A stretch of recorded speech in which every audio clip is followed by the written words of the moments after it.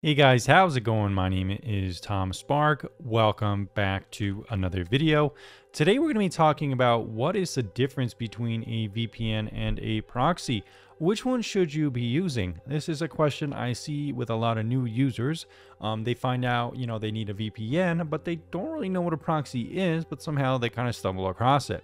So in this video, I'm going to be recommending my uh, top rated proxy provider, as well as, you know, the differences between that and a VPN and the individual use cases for both options. All right, guys, so let's go ahead and just dive right into it.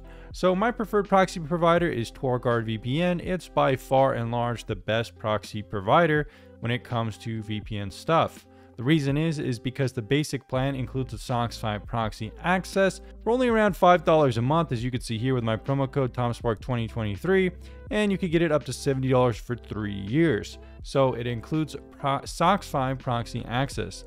Additionally, I just made a video about um, their other proxies. They have stuff like V2Ray and some of these other proxies which are very good for unblocking restrictions in censored countries. That's primarily what this stuff is for, uh, and I'll be putting that in the description down below for this if you're interested in this kind of proxy. These, these proxies are more for unblocking, uh, like I said, firewalls in censored countries like Iran and China. Uh, but for a lot of people, the basic proxy or the SOCKS 5 proxy is going to be kind of what you're looking at. Um, so what really is the difference between a VPN and a proxy? Well, one of the core differences is that a VPN is more like an application. A VPN uh, encrypts all your outgoing traffic on your computer. It pretty much routes everything going on your computer in terms of the internet through the tunnel. Uh, there's a variety of different protocols you can play around with, although most people commonly use WireGuard nowadays. Um, so that is kind of the VPN. It, it encrypts everything. Um, you can even put it on your router for VPN router Wi-Fi. Um, so that is interesting too. Um, but the VPN, it's just kind of like, um, I kind of think it like wearing a hiking boot. Um, so you're wearing a hiking boot. It's going to be the sturdiest. Um, you know, if you want to go to war, if you want something that is the best protection, that's what a VPN is. Now, there are some cons with that though. Just like there are cons with a hiking boot or something like that, it's going to be a little bit heavier. Um, it's going to be a little bit more clunky. And by that, I mean, uh, VPNs do affect your speeds a little bit, maybe 10 to 20% if it's a good VPN like TorGuard. If it's a worse VPN, um, it could be as much as 30 to 50% speed loss. So that can really be a bummer. Additionally, it can be hard to kind of get VPN working with certain things depending on how you want to. Sometimes you don't want to have to worry about turning VPN, turning it off. Um, so there are other use cases for different tools. And that's where a SOCKS 5 proxy comes into um, existence. Now, TorGuard has a little guide here that I've used myself. Um, so basically what a proxy is, is it's pretty much just kind of like a way to authenticate um, a connection with an external IP.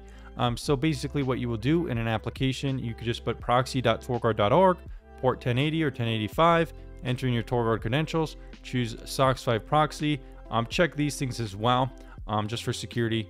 Um, and then you just click apply and okay. And every time you torrent in this application, your IP address is going to be anonymized and encrypted, so you'll have a new IP address. Um, so in this case, if you're downloading some Linux ISOs, your IP address will be completely hidden. So for all intents and purposes, it's good enough. And that's why I like to think of a SOCKS 5 proxy kind of like a running shoe um, when compared to a VPN, which is more like a boot. Uh, with SOCKS 5 proxies, you shouldn't really experience any speed loss at all um, because it's just encrypting your IP. It's not really encrypting your traffic per se. Um, your ISP can still see that you're torrenting, but they can't really see, um, they won't really be notified of you torrenting anything um, because no one's going to be telling them you're downloading anything because they don't really know who it is because the IP address is encrypted and hidden. Um, so that is what a proxy can do. Um, the benefit of here is that you don't have to worry about turning your VPN on. There's less speed degradation. Um, you could just set it and forget it. Anytime you download anything, your IP address will be hidden. So that's why I've been a huge proponent of proxies over the years. And a lot of VPNs actually don't provide SOCKS 5 proxy, which is a kind of a dumb thing. Um, but not only that, guys, um, proxies also have some other applications. Um, you can see here, I have TorGuard's extension downloaded um, onto Brave. And basically what I would do is log in the same way, Connect, it's almost like a VPN inside the browser, but it's just using a SOCKS proxy to encrypt my traffic on the browser and hide my IP address. So this gives me a pretty good layer of anonymity. Um, a lot of VPNs, even like stuff like Mullvad and some of the other ones, they don't really have like extensions you could fully install and find on app stores. Mullvad has like after many years they put like a beta for one and they kind of made their own browser. But Torguard has had this extension for a long time and it works perfectly with the SOCKS proxy. You're gonna have the anonymous IP while browsing, so it'll give you some layer of anonymity, and it's not gonna affect your speeds too much. So it's another really cool use case for a proxy. Now, one of my favorite reasons for using proxies is actually the ability to put it in applications like this um, for many use cases. So if you're familiar with my channel, I made a video about the automated media server. The cool thing about this is that I don't have to worry about turning my VPN on because anytime something is pulled and put into qBittorrent to download, it's going to be using this proxy just like this. So it's very useful for that.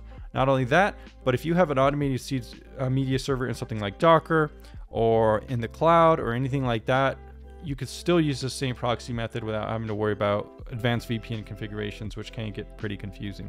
All right, guys, so I hope that helped you out with this video, understanding the difference between uh, VPN and proxy. Like I said, I recommend TorGuard since it's the cheapest and the best in my opinion.